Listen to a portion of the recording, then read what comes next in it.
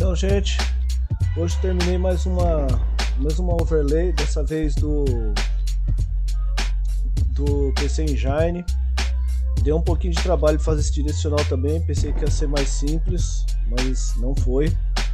Mas ficou legal, ficou de boa aqui. Coloquei os botões também, ó, tudo funcionando certinho.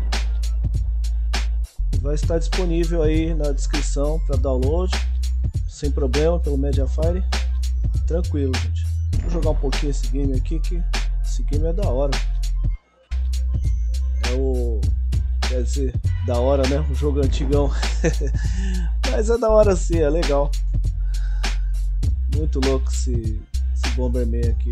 Acho que o, o cara que criou esse jogo aqui até já morreu. Que criou a série, né? Bomberman. Não lembro bem agora. Passava horas. Eu gosto desse Bomberman aqui porque ele é uma versão um pouco mais, mais fácil, assim, né? Porque tem uns Bomberman que é, é dureza, que é difícil. Mas é, esse aqui. Aí, ó, quase morri agora. Uh, rapidinho. Ah, deixa eu fugir dele. É, agora lascou. Ah, ele fugiu. E eu consegui escapar. Pois é, esse Bomberman aqui é.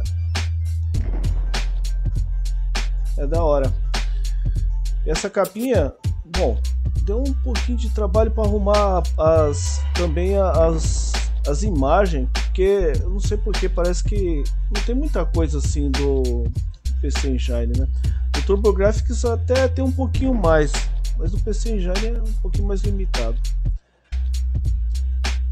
breve eu vou fazer a do Dreamcast, mas a do Dreamcast eu acho que vai ser meio complicado. Eu tava vendo lá, tem umas coisinhas ali que, que vai dar, vai dar ruim. Mas, mas eu vou, vou fazer, vou fazer. Tem de, de GameCube também, vai ficar da hora. Fica da hora fazer de, de GameCube. Ó, vou pegar aqui assim. Aí, esses itens assim. E os filtros nesse jogo aqui ficou legal pra caramba. Não ficou nem borrado e nem. E nem muito muito não ficou zoado a tela, ficou legal com, com os filtros. Ao meu ver assim, ó, é 4x3, mas com os filtros ligados, os pixels ficar redondinho, eu acho legal. É isso aí, gente. Se você gostou do vídeo, deixa aquele like, se inscreva no canal e não se esqueça de ativar o sininho. Falou!